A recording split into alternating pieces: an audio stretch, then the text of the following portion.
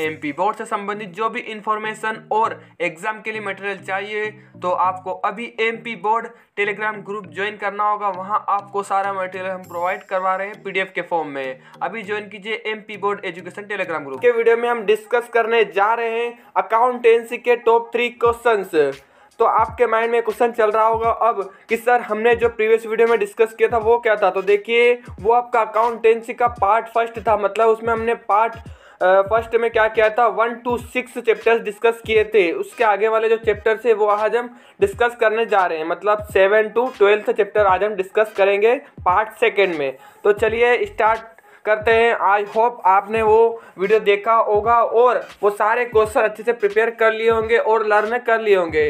Okay क्योंकि आपकी exam बहुत ही पास आ गई है। ओके अब आपके पास बिल्कुल भी टाइम नहीं है कि आप वो सारे क्वेश्चन लर्न ना करो। ओके तो जल्दी से करिए। चलिए स्टार्ट करते हैं।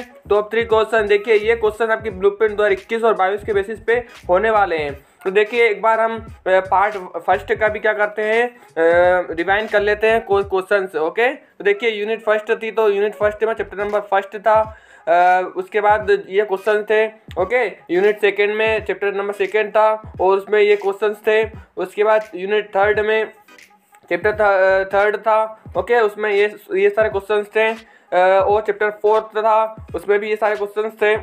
उसके बाद यूनिट फोर्थ में चैप्टर नंबर फाइव था जिसमें ये ये क्वेश्चन थे, उसके बाद चैप्टर नंबर सिक्स था, इसमें ये क्वेश्चन थे। तो ये क्वेश्चन जो थे आपके मोस्ट इम्पोर्टेंट क्वेश्चन थे।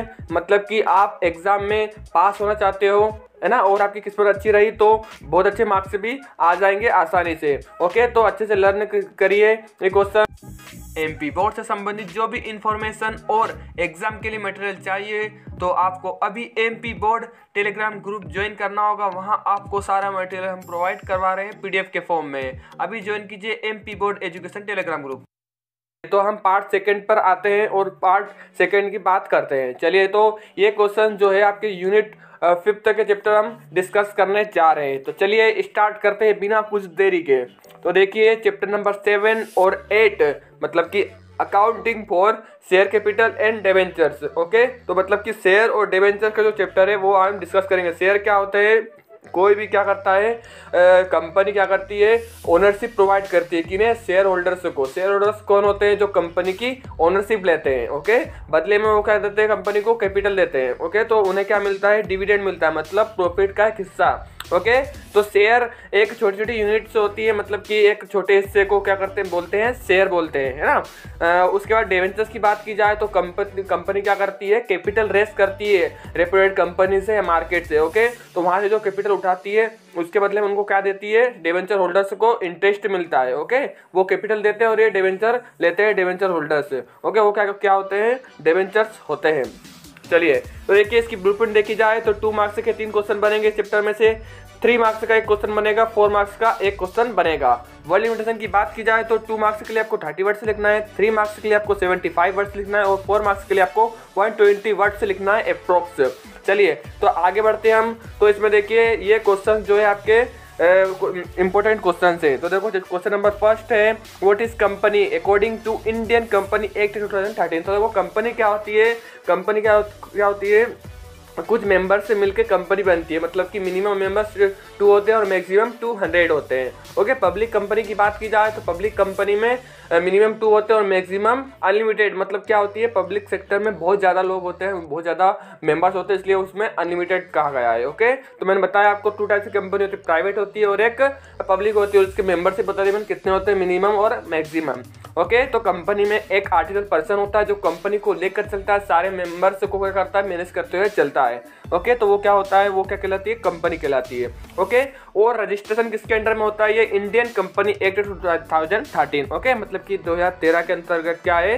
इसका रजिस्ट्रेशन किया जाता है। तब जाके इसको अलाउ किया जाता है कि आप कंपनी रेगुलर चला सकते हो, ओके? अब आते हैं क्वेश्चन नंबर सेकंड पर। What do you understand by shares share क्या होते हैं? देखो, एक छोटे जो हिस्सा होता है कंपनी का जो ओनरशिप के तौर पर दिया जाता है और उसके बदले में कैपिटल ली जाती है है ना? तो वो क्या कहलाता है? शेयर कहला जाता है, ओके? उसके आते हैं question number third why are debentures issued मतलब डेवेंचर इशू क्यों करते हो? डेवेंचर इशू इसलिए करते हैं क्योंकि कंपनी को बहुत ज़्यादा कैपिटल की आवश्यकता होती है, ज़रूरत होती है नीड्स होती है। तो क्या करते कैपिटल वो डेवेंचर इशू कर देते हैं और उसके बदले में कैपिटल रेस करते हैं। ओके तो इसलिए डेवेंचर इशू किए जाते हैं। ओके अब आता है क्वेश्चन नंबर फोर्थ पे। देखिए, आपके माइंड में क्वेश्चन चल रहा है। सर, आपने टॉप थ्री क्वेश्चन का कहा था और ये तो क्वेश्चन नंबर फोर्थ पे आ गया आप। तो देखिए ऐसा इसलिए किया है हमने, क्योंकि क्या हुआ, ये बोनस क्वेश्चन है ओके बोनस क्वेश्चन मतलब दो, क्योंकि टू मार्क्स के तीन क्वेश्चन बनेंगे तो वो तीन क्वेश्चन वो थे। ये है थ्री मार्क्स का एक क्वेश्चन है एक फोर मार्क्स का ओके तो ये बोनस क्वेश्चन है मतलब इसको दो को भी आपको करना है, ये बोनस के तौर पे। तो देखो क्वेश्चन नंबर फोर्थ है explain the characteristic of preference share मतलब प्रेफरेंस शेयर के कैरेक्टरिस्टिक बताना, विशेषता बताना कौन कौन सी होती है? प्रेफरेंस शेयर में क्या होता है कि इसको पहले प्रेफरेंस दिया जाता है शेयर में। मतलब कि दो टाइप्स के होते हैं इक्विटी शेयर और प्रेफरेंस शेयर प्रेफरेंस शेयर को क्या है? पहले प्रेफरेंस दिया जाता है मतलब कि डिविडेंड मतलब प्रॉफिट का हिस्सा पहले इन्हें मिलता है ओके तो मैंने बताया कि किस तरह इसकी विशेषता होती है है ना? तो ऐसा आपको कैरेक्टरिस्टिक लिखना है और बताना है। चलिए आते हैं क्वेश्चन नंबर फिफ्थ पे डिफरेंट टाइप्स ऑफ़ डेवेंचर्स है ना? तो मतलब कौन कौन से डेवेंचर्स होते हैं, कितने टाइप्स होते हैं बहुत सारे टाइप्स के होते हैं, लेकिन आपको क्या करना है, कोई से भी फोर टाइप से लिखता है, उसे अच्छे से एक्सप्लेन करना है एग्ज़ाम में वन ट्वेंटी वर्ड्स की लिमिटेशन के साथ में। ओके तो हम आते हैं अब यूनिट फिफ्थ पे। सॉरी यूनिट फिफ्थ हो चुकी है हमारी। अब आते हैं हम यूनिट सिक्स पे। चलिए तो स्टार्ट करते हैं chapter number nine and ten इन दोनों चैप्टर में कंबाइन है। उस चैप्टर में हमने सेवन और एट कंबाइन किया था उसमें भी नाइन और टेन कंबाइन किया है। क्योंकि क्या है क्वेश्चन जो आते हैं ना, एक दूसरे के रिलेट करते हुए आते हैं।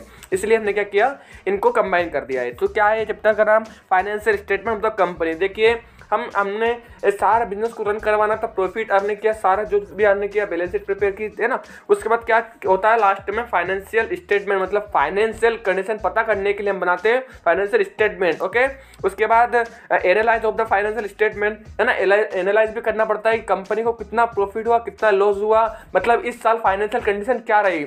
फार्म की या फिर कंपनी की ओके तो देखिए ब्लूप्रिंट देखी जाए तो टू मार्क्स का एक क्वेश्चन बनेगा और थ्री मार्क्स का एक क्वेश्चन बनेगा ओके वैल्यूशन आपको पता ही है टू मार्क्स और थ्री मार्क्स के लिए आपको थर्टी वर्ड्स और सेवेंटी फाइव वर्ड्स लिखना है अप्रोक्स ओके तो देखो, इसमें टू और थ्री मार्क्स के लिए पहला क्वेश्चन है आपका what do you mean by long term loan long term loan क्या होता है? मतलब लंबे समय के लिए आपको जो दिया जाता है है ना लोन दिया जाता है, वो आपको बताना है क्या होता है, उससे आप क्या समझते हो? है ना?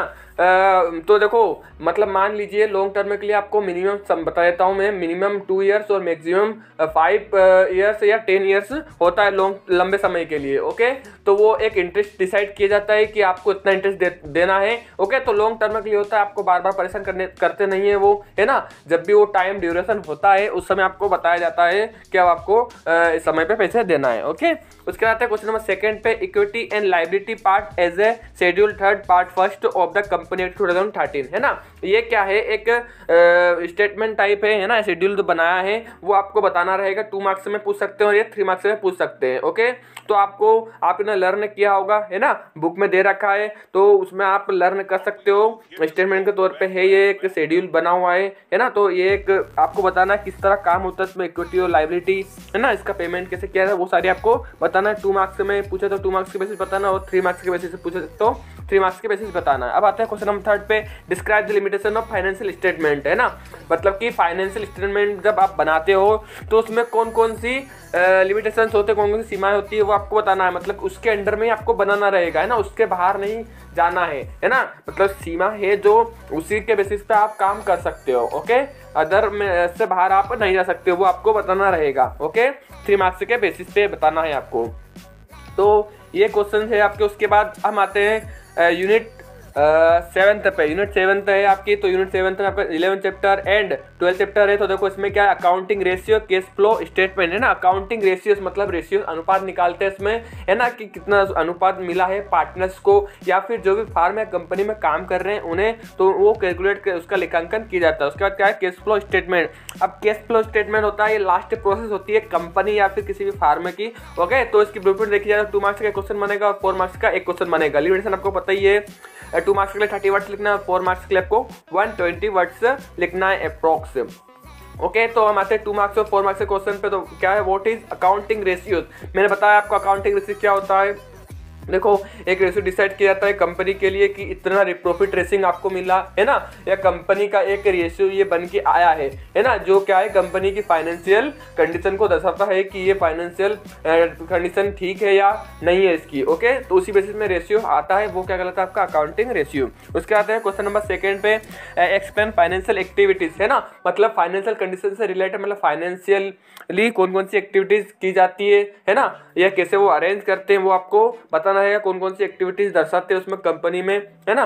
तो वो आपको बताना रहेगा इसमें उसको टू मार्क्स के बेसिस पे आप एक्सप्लेन कर सकते हो। उसके बाद आते हैं हम question number third distinguish between current ratio और लिक्विडिटी रेशियो है ना? करेंट रेशियो और लिक्विडिटी रेशियो में क्या अंतर है वो आपको बताना है। ओके इसमें एक फॉर्मूला भी है करेंट रेशियो लिक्विडिटी रेशियो का उससे भी लर्न करना है उससे क्या होगा आपको हेल्प मिलेगी डिफरेंसेस में। है ना? बताने में आप इसका फॉर्मूला भी लिख सकते हो दोनों का है ना? जो भी फॉर्मूला होता है वो आपको लिखना रहेगा है ना? तो हम टेन टॉप थ्री क्वेश्चन हो चुके हैं सारे चैप्टर्स के। तो आपको अच्छे से लर्न करना है इन्हें ओके आंसर के सहित आपको ये बुक्स में मिल जाएगी, जो आपकी टेक्स्ट बुक है, उसमें आपको मिल जाएँगे सारे क्वेश्चन के सोल्यूशन भी और आंसर मिल जाएँगे आपको ओके तो ये अच्छे से प्रिपेयर कीजिए लर्न करना स्टार्ट कर दीजिए, क्योंकि आपकी एग्ज़ाम पास आ चुकी है। तो समझ सकते हो आपको, आपके लिए कितना प्रेशर होगा आपके माइंड में। तो आपको प्रेशर लेकर नहीं चलना है आपको ये सारे प्रिपेयर कर लेते हो तो आप एग्ज़ाम में अच्छे मार्क्स ला सकोगे। ओके उसके बाद हम बात की जाए न्यूमेरिकल्स की। तो न्यूमेरिकल्स भी हम कोशिश करेंगे आपको प्रोवाइड करवा दे,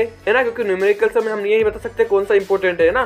तो आपको सिर्फ़ क्या है, उसकी मेथड समझनी है। ओके और आपको मेथड समझने के बाद आप कर सकते हो ओके तो आप फॉर्मेट भी एग्ज़ाम में लिख के आ सकते हो न्यूमेरिकल्स में तो आपको मार्क्स मिलेंगे ओके न्यूमेरिकल्स का तो यही फंडा होता है तो आप अच्छे से न्यूमेरिकल्स भी करिए, क्योंकि एग्ज़ाम में थ्योरेटिकल तो आएगा ऑप्शन में, लेकिन हो सकता है किसी क्वेश्चन में थ्योरेटिकल ना आए तो आप न्यूमेरिकल्स ही करना पड़े तो आपको न्यूमेरिकल्स भी करना है ओके तो ये सारे क्वेश्चन अच्छे से लर्न कीजिए, है ना? हम और भी वीडियो आपके लिए लेकर आते रहेंगे अकाउंटेंसी के related okay all the best and thank you